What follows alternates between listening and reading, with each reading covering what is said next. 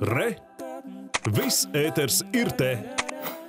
Plānots, ka padomju armijai veltīto monumentu Pārdaugavā uzvaras parkā sāks nojaukt tuvāko nedēļu laikā. Par to informē Rīgas mērs Mārtiņš Staķis. Atbilstoši saimas lēmumu totalitārus režīmus slavinoši pieminekļi jādemontē līdz 15. novembrim. Vairāk stāsta Odita Krenberga. Piemineklis jau labu laiku ir norobežots, pieeja tam ir liekta un arī diennakts režīmā visu laiku to apsargā valsts policija. Zinot, ka te katru gadu 9. maijā pulcējas tūkstošiem cilvēku, kam šī vieta ir nozīmīga, drošības aspekts ir ārkārtīgi svarīgs, ņemot vērā varbūtējos pieminekļu nojaukšanas pretinieku protestus. Mēs ļoti nopietni uztveram tos izaicinājumus, kādi mums potenciāli varētu būt. Un šobrīd darām visu iespējamo, lai varētu pasargāt sabiedrību, pasargāt iedzīvotājus, pasargāt būvniekus, kas ar to nodarbosies, lai mēs varētu godam izdarīt to darbu, kas ir uzdots. Kas ir nu, tas jūsu vēstījums tiem cilvēkiem, kuri ir nodomājuši aiziet tur vismaz pirmajā dienā un būt klāt un redzēt, kā tas notiks? Mēs, protams, nevaram izvairīties no tā, ka cilvēki neinteresēsies šo, par šo procesu un, un, un neies skatīties. Bet, tāpēc arī gan policijai, gan valsts drošības dienestam savu virknē ar plāniem Rīgas domai, kā ierobežot teritoriju, kā pasargāt apkārtējās teritorijas vienkārši arī kā uh, cilvēkiem nepieļaut to, lai notiktu kaut kādas sāsināti ekscesi. Uh, pretnostatījumi, pretdarbības. Drošības apsvērumi tiek ņemti vērā arī izraugoties nojaukšanas veicējus. Rīgas doma ir saņēmusi kritiku, ka būvuzņēmums izraudzīts slepenībā. Mērs saka, bažas ir saprotams, bet tā darīts sargājot būvnieku intereses. Mēs vēlamies, lai viņš varētu darbus uzsākt bez saka, iepriekšējām provokācijām attiecībā pret viņu.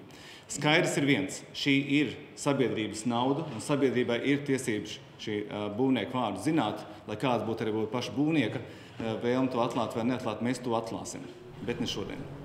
Kad tieši sāksies pieminekļa demontāža, Rīgas domē joprojām neatklāja, bet skaidro, ka metode, kā to izdarīt, tiks izraudzīta tāda, kas ļautu paveikt visu ātri šo okupācijas pieminekli ar konvencionālo metodi, jeb, nu, respektīvi, posmu no posma, no augšas sākot ejot uz leju. Ar šādu metodu būvnieki no savas puses uzskatīja, ka vairāk šajā laika grafikā iekļauties viņi nevar. Tādēļ visticamāk metode, kā tiks tātad utilizēts vai demontēts šis šī strēle, tā visticamāk būs nogāšana.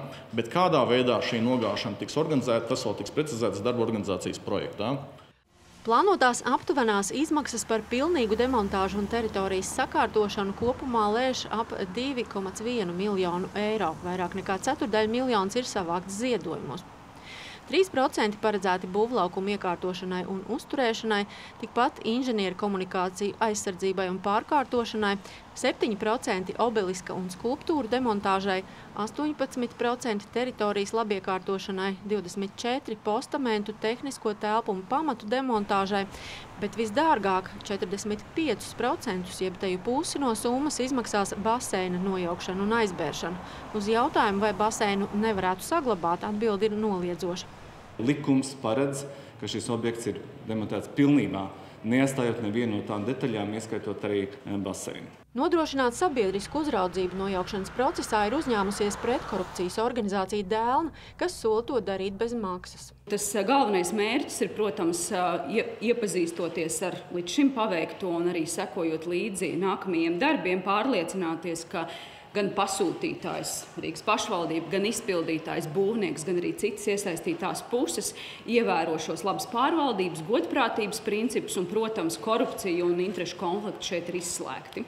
Dēlnas mājaslapā ikvienam būšot iespēja uzdot jautājumus, uz kuriem tikšot prasītas atbildes no Rīgas domas. Un Vita Krenberga, Māris Jurgensons, Latvijas televīzija.